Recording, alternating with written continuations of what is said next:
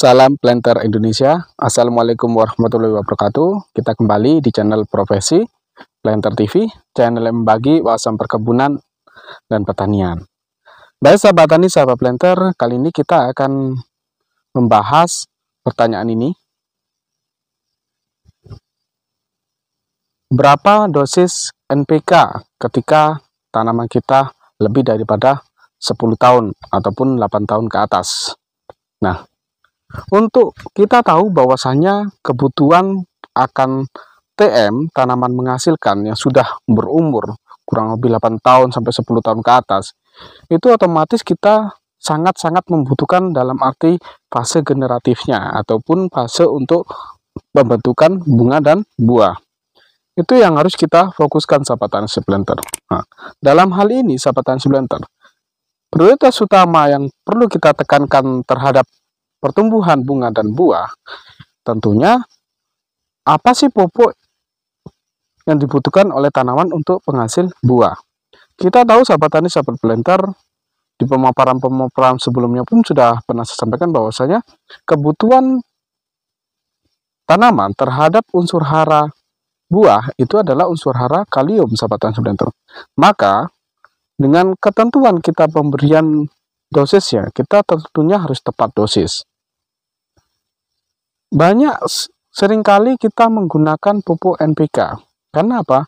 Karena kebutuhan terhadap unsur hara yang dibutuhkan tanaman itu adalah mempunyai keseimbangan dan presentasi yang sesuai yang dibutuhkan oleh tanaman, terutama tanaman-tanaman yang sudah menghasilkan. Nah, ada pertanyaan bahwasanya berapa sih dosis yang kita berikan ketika kita memakai pupuk NPK? Nah, penekanan di pupuk NPK di sini, sahabat tani splinter, saya tekankan untuk NPK ketika kita menghasilkan pupuk TM, NPK-nya harus kaliumnya lebih besar. Seperti contoh, pupuk NPK 13627 ditambah 4 plus boron.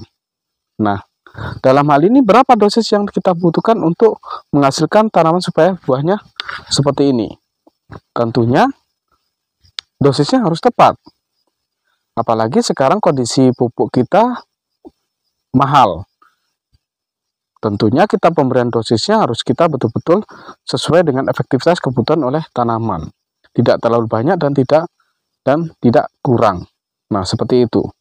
Jadi sahabat tani blender, pada dasarnya yang perlu kita tekankan dalam sudah masa TM 10 tahun ke atas itu adalah dosis dalam satu tahun sahabat tani blender.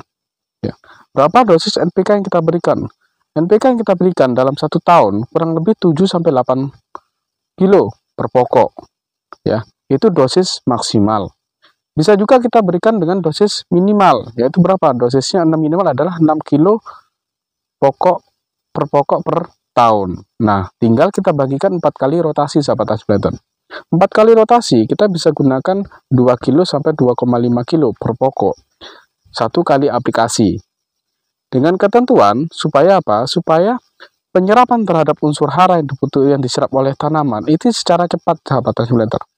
Karena kita tahu pembentukan daripada bunga ke buah itu membutuhkan waktu yang lama, kurang lebih enam bulan masa pertumbuhan bunga ke buah.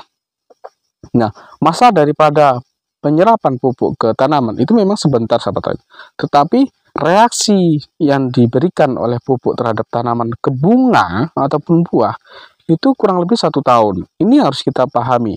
Makanya kenapa kita memberikan dosis yang sangat besar pada masa-masa TM 10 tahun atau 8 tahun ke atas.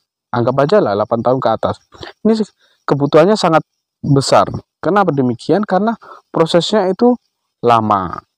Berbeda dengan kita memberikan pupuk ketika kita memberikan pupuk-pupuk nitrogen dan lain-lain.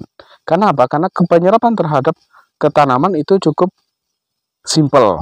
Tidak sampai setahun sudah sudah bisa membesarkan batang ataupun menghijaukan daun. Tetapi kalau untuk buah, memang fase pertumbuhannya, proses reaksi antara ke bunga ke buah itu membutuhkan waktu yang lama. Makanya kita berikan dosis yang besar. Saya tekankan lagi kesimpulannya, untuk dosis yang kita berikan untuk masa-masa TM, kurang lebih umur 8 tahun ke atas atau 10 tahun ke atas, ini harus kita memberikan pupuk kurang lebih adalah 6 sampai 8 kilo per pokok per tahun. Rotasinya bisa kali 4 kali. Seperti itu, artinya berarti dia per, pokok, per bulannya, per pokoknya sekali sekali untuk pemberiannya adalah 2 kilo sampai 2,5 kilo per pokok per tahun per per pokok per kali satu kali rotasi. Mudah-mudahan bisa dimahami dan bisa dimengerti dan bisa dimanfaatkan dan bisa diperhatikan ke lapangan. Semoga bermanfaat. Salam Planter Indonesia.